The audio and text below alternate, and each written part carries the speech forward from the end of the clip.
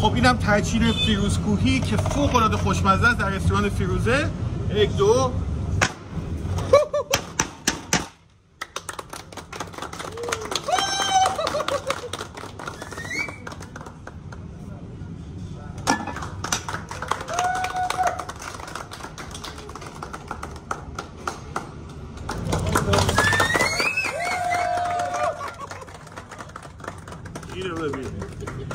اینو ببین.